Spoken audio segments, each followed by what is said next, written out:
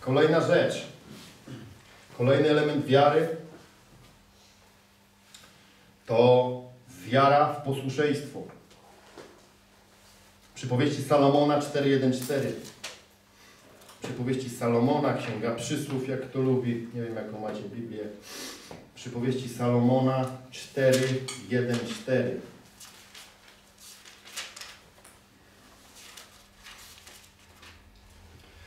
Słuchajcie, synowie, pouczenia ojca, zwróćcie na nie uwagę, abyście się nauczyli rozumu, bo daję wam dobrą naukę.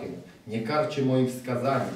Gdy jeszcze byłem synem mojego ojca, jako miły jedynak pod opieką mojej matki, pouczał mnie, mówił do mnie, niech się Twoje serce mocno trzyma moich słów, przestrzega moich przykazań, a będziesz żył. Wiara w posłuszeństwo.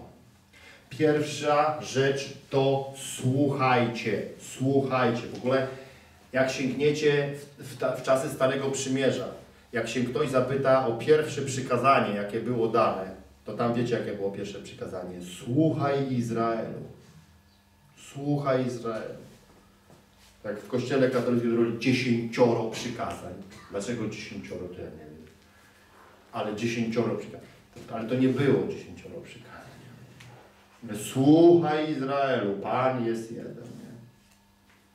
Nie? Słuchaj Izraelu. Czyli w ogóle wiara w posłuszeństwo polega na tym, że my decydujemy, że jesteśmy ludźmi słuchania. Słuchania i słyszenia. Wstaję rano, mówię, dziękuję Ci Panie, że Cię słyszę. Tam nic nie słyszysz. Nic nie słyszysz. Rozumiesz o co chodzi? Głupoty słyszysz. Śnił Ci się królik z jednym zębem na czole. Wstałeś jeszcze go masz przed oczyma i zastanawiasz się, czy to od Pana ten sen. Gwarantuję Ci, że nie od Pana. Nażarłeś się czegoś na noc. Rozumiesz co chodzi?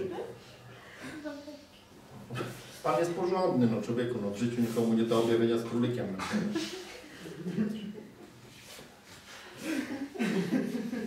To nie od Pana sen. Słuchamy.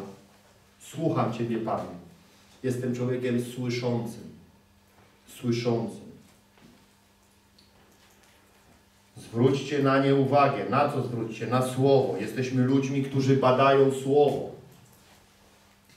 Nie pod kątem znajomości teologicznej, tylko zrozumienia szerokości Bożych obietnic. Tak? Czy Ty w ogóle wiesz, że mając świadomość Bożych obietnic, tak? I będąc pełnym informacji o Bożych obietnicach, to się w ogóle inaczej żyje? Ja w ogóle tak się w życiu w tym wyćwiczyłem, że gdziekolwiek chodzę, to mi obietnice jakieś lecą. Tam, aha, tutaj jest to, tutaj jest tamto. Hmm. Rozumiesz? Ja w sobie, ja sobie wierzę, jest łatwość wierzenia. Znając obietnice Boże, tak? Znając Boże prawidła, jest łatwość wierzenia. Łatwość wierzenia. Nie gardźcie. Dalej jest napisane. Wiara w posłuszeństwo, czyli, ona, czyli rozwijanie tego polega na tym, że przyjmuję słowo nie gardząc nim. To jest, znowu wracamy do początku, nie podchodzę relatywnie do słowa, nie gardzę słowem. Nie gardzę słowem. Mocno trzymaj się słów ojca i matki. Ojciec symbol Boga, matka symbol Kościoła. Trzymaj się mocno wytycznych prawdy, osobistego objawienia i z nauki, którą przyjmujesz. Trzymaj się tego. Dlatego tak mocno my naciskamy na ludzi, my nie słuchaj głupot, nie sięgaj gdzieś tam, nie grzeb po jakichś śmietnikach duchowych. Na co ty tam to grzebiesz? Gdzieś, mówię, znowu był. Tam poszedłeś, po coś poszedł. Jak poszedłeś po coś, to dobrze. Jak poszedłeś po nic, to po co? No pobyć, do zopójć. Tam przynajmniej nikt nie gada głupot. Tam gdaczą, kwaczą przynajmniej wiemy o co kaman. Rozumiesz o co chodzi? A pójdziesz tam, gdzie głupoty ci opadają, po co? Lepiej nic nie zjeść, tak? Niż zjeść coś, z czym się potem zżygasz. No tak, bo gardło piecze. To lepiej nic nie zjeść. Mocno trzymaj się słów ojca i matki. Mocno. I dalej przestrzegaj ich przykazań, a będziesz żył, czyli stosuj się do prawideł Bożych, a będziesz żył. Ja wierzę w posłuszeństwo. W ogóle wiecie, ja wierzę w posłuszeństwo. Ja jestem naprawdę posłusznym człowiekiem. Do mnie ktoś coś mówi, tak? Ja jestem posłusznym człowiekiem. Dam wam przykład. W Warszawie ustalamy różne rzeczy. Są liderzy, ludzie zajmują się różnymi sprawami, a ja potem, ja, ja, a ja nie pamiętam tego. Ja nie pamiętam, czym się oni, co oni tam robią. I ja się też gubię w tym. I tak, ostatnio coś tam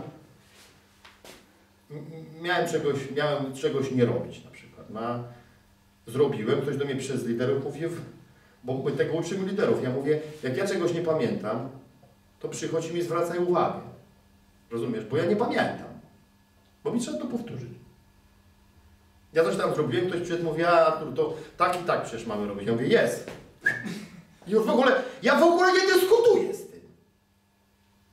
Ludzie to w ogóle cały czas, jak im się w ogóle na przykład zwróci uwagę, to jest mistrzostwo świata, weźmiesz komuś, zwrócisz uwagę, to pierwsza rzecz to jest obrona. On się zaraz obroni przed tobą. Ja mówię, czego się bronisz? Uspokój się. Ci uwagę ktoś zwrócił, co ci się stało? Dlaczego ty się bronisz? Może ty jesteś jakiś w ogóle przewrażliwiony? Dlaczego? Zwrócił ci ktoś uwagę, zwrócił ci. Śmierdzi ci z buzi, jest ser, idę umyć zęby. Tutaj masz filozofię do śmierdzenia z buzi. Śmierci mi z bo nie miałem czasu ci się umyć zębów, się tak długo modliłem, wiesz. A tak naprawdę chodzi o to, żebyś mnie rozpoznawał według ducha. Ja mówię, to nie chuchaj. To cię będę widział według ducha. Bo kto chucha, ten nie według ducha. Chucha ci prosto w twarzą zębów nie myje, on będzie mnie tutaj mówił, że on jest duchowy. Idź się umyj, śmierduchu. Wiesz o co chodzi? Kurczę, ja nie mam żadnych skrupułów, ja mówię człowieku. Rozumiesz? My ludzi uczymy, kurczę, normalnych rzeczy. My przychodzisz na grupę domową, zdjąłeś buty, śmierci ci znów, idź umyj nogi. Co ty uważasz, że będziemy wszyscy siedzieć i uważać, że, że ci śmierdzą nogi i będziemy wszyscy udawać, że się wszystko dobrze dzieje, bo my duchowi jesteśmy. Ale chodzimy w ciele. Jest napisane w piśmie starym. Że chodzimy w ciele, jesteśmy oddzieleni od Pana, Pan tam nie czuje. Pan se siedzi w niebie i nie czuje. Tak? A ja mam nos od Pana też. I się wchodzi na grupę, jest się po całym dniu pracy. Pierwszą rzecz, co się dzieje, co się robi? Się idzie do toalety i się nóżkę co? Myje! Czy Jezus uczył myć nogi tam? Przyszli coś zjeść, nogi śmierdziały, wreszcie takim mu umył. No co? Nie mówię prawdy? Piotr się tak najarał na mycie, my całego mnie umył. Piotrek, uspokój się. Ja nie jestem showerman. Będziesz posłuszny, będziesz żył. Tak mówi słowo. Wiara w posłuszeństwo. Nas nie stać na nieposłuszeństwo. Wolność nie polega na braku posłuszeństwa. Być wolnym to mądrze zależeć. Pisę to do głowy. Być wolnym to mądrze zależeć. Prawdziwie wolny człowiek jest wolny do tego, aby wybrać sobie swojego króla. To jest wolność, kiedy możesz wybrać króla. A jak nie masz króla, to jesteś anarchista, a nie wolny człowiek. W kościele jest pełno anarchistów. Ja wierzę tylko w Boga. No, ja widzę, jak w Niego wierzysz. Ja widzę, jak On mówi do Ciebie, bądź posłuszny mojemu słowu, nie jesteś posłuszny słowu, nie jesteś posłuszny ludziom, nikomu nie jesteś posłuszny. Bo Ty jesteś wolny, jak dzik na zakręcie człowieku. On wolny człowiek. Wolny chrześcijanin. Taka grupa nawet powstała. Wolni chrześcijanie. Jakiś tam... A więc wiara w posłuszeństwo. Wierzymy w posłuszeństwo ludzie. Nie patrzymy inaczej na temat posłuszeństwa, jak, jak e, w, temacie rozwoju naszej wiary. Nasza wiara rozwija się w formule posłuszeństwa. Przypowieści Salomona 4, 7, 8.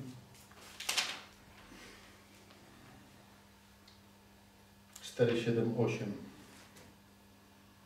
Początkiem, początek mądrości jest taki. Nabywaj mądrości za wszystko, co masz, nabywaj rozumu, ceń sobie ją wysoko, a ona zapewni Ci szacunek, obdarzy Cię czcią, gdy ją otoczysz miłością. Początek mądrości. Nabywanie. Umiejętność zastosowania tej wiedzy. Później widzimy cały system wprowadzania mądrości. Widzimy, że praktykowana wiara polega na tym, że rozwijamy się w posłuszeństwie Bożym prawdom. Wiara jest w ten sposób praktykowana. Czyli my wierzymy w to, że poruszając się do przodu w wierze, tak? Jesteśmy zdani na bycie posłusznymi. Nie możemy się rozwijać w wierze, uważając, tak, że nie musimy być posłusznymi. Być posłusznym to znaczy usłyszeć i wprowadzić rzecz zasłyszaną do życia. To jest bycie posłusznym. Bo inaczej to jest się słuchaczem, a nie posłusznym. Posłuszny to jest ten, kto daje posłuch czemuś. Rozumiecie? Posłuch. Ja w ogóle pracuję z ludźmi, ja mówię, przecież mówię do Ciebie jedną jakąś rzecz, mówię do człowieka. To jest taka prawda Boża, o taka prawda, tutaj jest ta prawda. Tak to jest napisane, tak to brzmi, tak to się zjada. I teraz chcę, abyś zaczął tą prawdę stosować w swoim życiu. A on siedzi przy mnie i mówi, ale ja czekam, aż Pan mnie poprowadzi w tej sprawie. Ja mówię, bo Cię uderzę. Posłuchaj mnie, masz tutaj prawdę. Jest to taka prawda tutaj. Ja chcę, żebyś tą prawdę uznał za fakt ostateczny, tak? I rozpoczął swoją pracę na tej prawdzie. A ten mnie dalej twierdzi, że on czeka, aż go Pan poprowadzi. Ja mówię, właśnie Cię Pan prowadzi. Bądź posłuszny tej prawdzie, dobrze? No zrób to. I takie są rozmowy z ludźmi. Rozumiesz? A jeszcze jak ktoś jest bardziej elokwentny, to on mi wyjeżdża, a ja miałem sen, a mnie tutaj prorok powiedział, ja mówię, proszę Cię, widzisz tu prawdę. Bardzo Cię proszę. Ostatni raz Cię proszę. Więcej Cię nie poproszę. Zacznij realizować tą prawdę. Zacznij tą prawdę realizować. Zacząłem pracować rok temu z taką jedną dziewczyną, która przyszła do nas do kościoła. Przyszła w opłakanym stanie, strasznie opłakanym stanie. 20 parę lat była wierząca. Teraz minął rok naszej pracy, nie? W ogóle inny człowiek. W ogóle. No torpeda Boża. Torpeda. Głosi na ulicach, a ona była w takim wycofaniu, że nie potrafiła w ogóle nic. Bo ona nikomu nic nie potrafiła zrobić. Powiedzieć komuś dzień dobry. Rozumiesz o co chodzi? Bo się wstydziła. Ona zawstydzona była. Głosi na ulicach. Rozumiecie? Wróciła na studia. Okej? Okay? Wzięła kredyt na mieszkanie, kupiła mieszkanie, bo, miała, bo mieszkała w ogóle wynajętym od rodziców, znaczy dostała je. Żeby mieszkała, no dalej. Powiedziała na i mówię, prowadzę, będę prowadziła całkowicie nowe życie. A ostatnio jeszcze do mnie przyszła mówi, i męża se znajdę. Ja mówię, i tak trzymaj.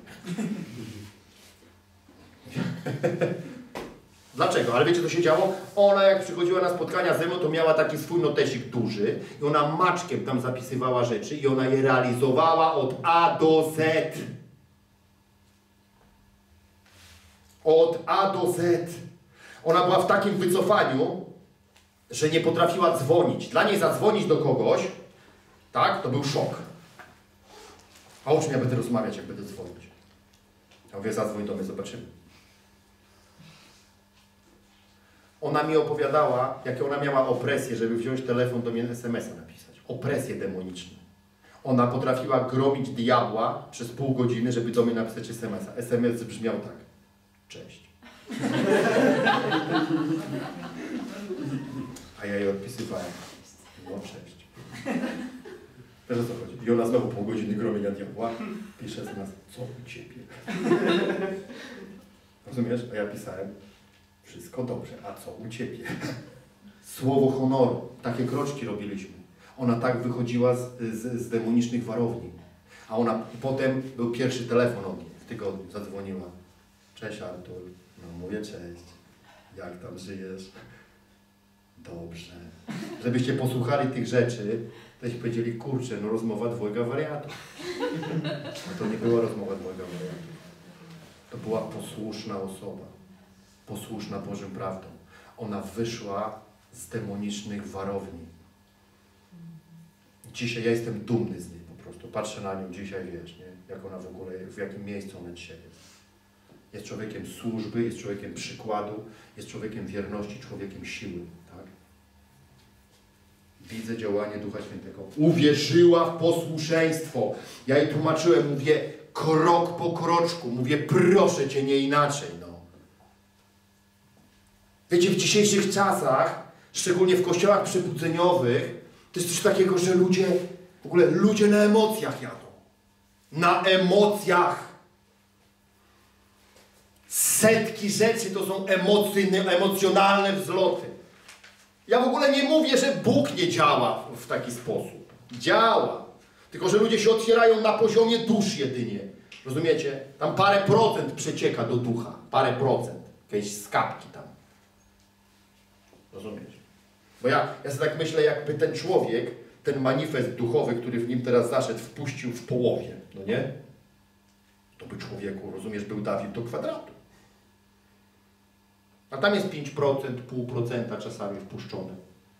Leży na ziemi, rzuca go, proszę Ciebie, o, ale mnie Pan dotknął. A ja mówię, w porządku, no super, Pan Cię dotknął, nie? Patrzę, następnego dnia jest taki sam jak przed dotknięciem.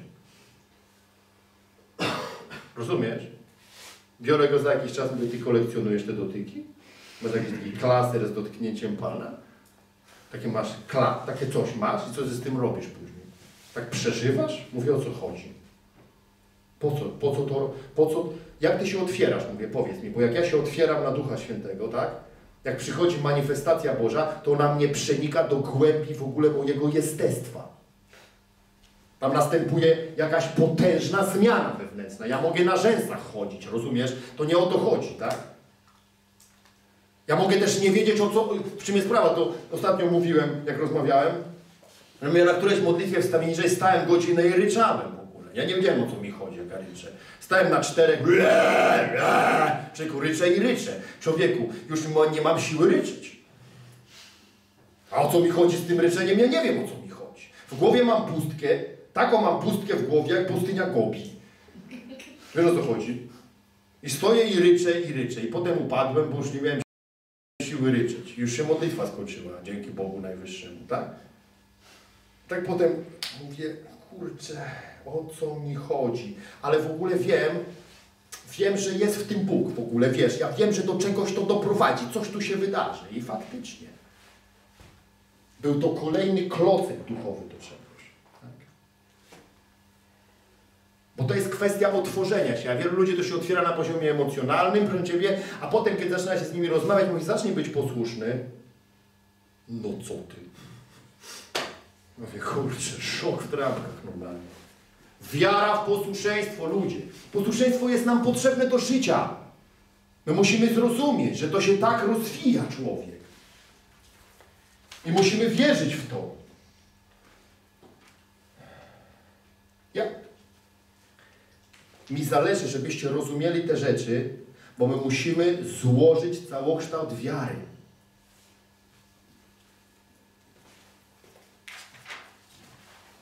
Wiara w posłuszeństwo.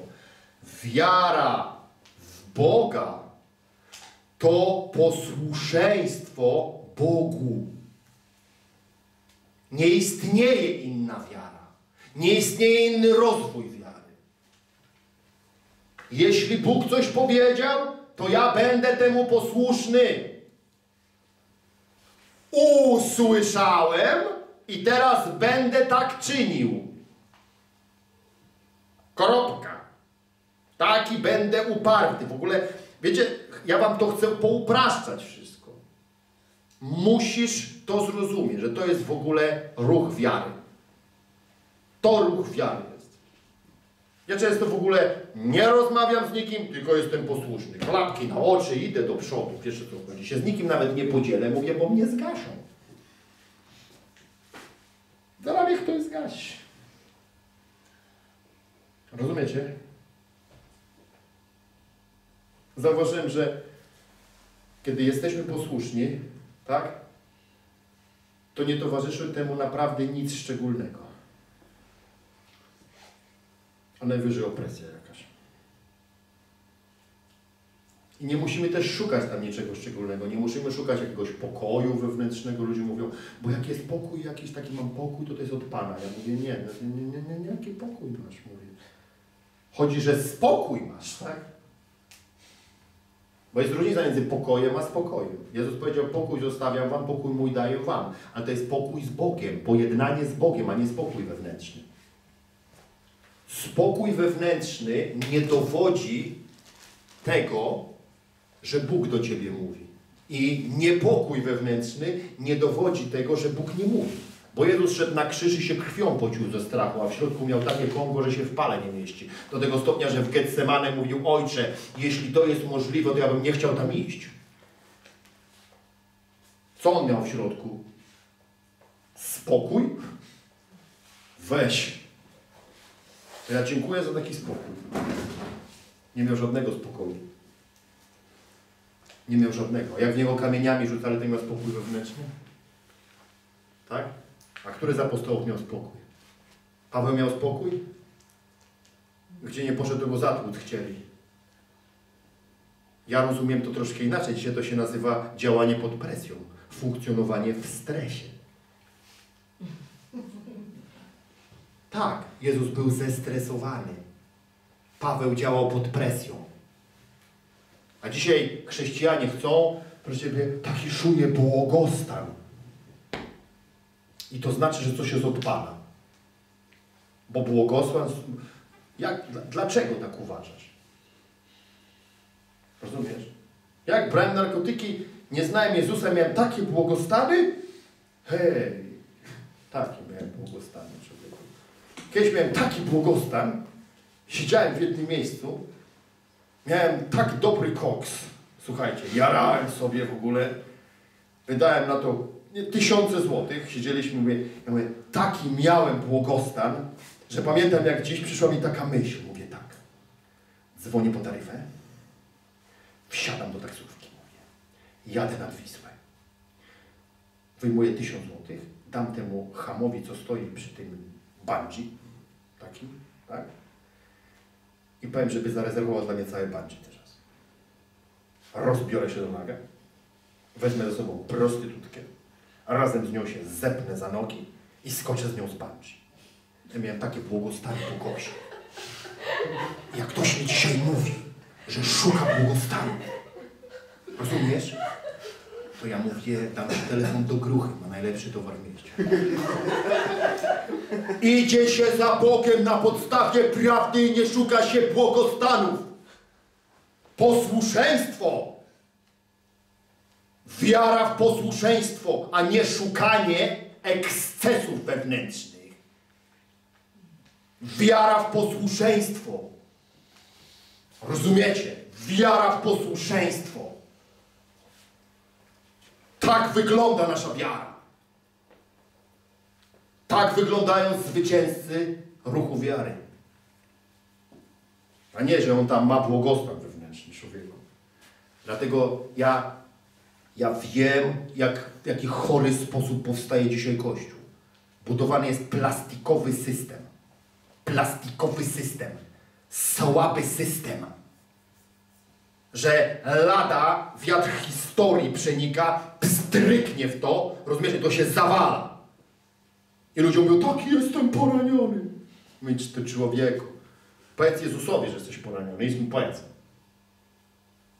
Idź mu powiedz, jak go tłukli batem i wyrywali mu kawałki mięśni. Jaki on miał spokój wewnętrzny? Jaki miał spokój wewnętrzny? Jak wisiał na krzyżu i się dusi. Człowieku.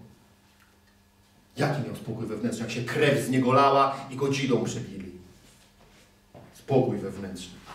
Posłuszeństwo. On poszedł na krzyż przez posłuszeństwo. Przez posłuszeństwo Bożej prawdzie. Przez posłuszeństwo objawieniu. On tam poszedł. Wiesz dlaczego my tu dzisiaj jesteśmy, możemy w ogóle o tym rozmawiać? Bo 2000 lat temu ekipa Pawłowa wjechała w Europę jak Microsoft na rynek, rozumiesz? Dlatego, dlatego, że ekipa Pawłowa tu wjechała. I przelecieli przez całą Europę i ogłosili Chrystusa tym narodom tutaj. Dlatego my dzisiaj możemy robić to, co możemy. Ci ludzie zostali ukrzyżowani, porozrywani przez konie, tak? Ukamienowani, ścięci mieczem. Dlatego, żebyśmy dzisiaj sobie mogli tutaj głosić ruch wiary. Jaki oni mieli wewnętrzny spokój? Byli posłuszni Słowu. Posłuszni Słowu. Rozumiecie? Ponieśli ofiarę, bo posłuszeństwo kosztuje. Za to, za to się płaci. Ludzie mówią, wszystko jest za darmo! Za darmo! Free! Człowieku. Jak coś się dzieje z nimi nie tak, to jest cofka. Pan, pan taki nie jest? Pan daje pokój? Mówię, człowieku, idź do przodu. Bez względu na wszystko. Moja wiara jest zbudowana na posłuszeństwie. Jestem posłusznym człowiekiem. Posłusznym człowiekiem.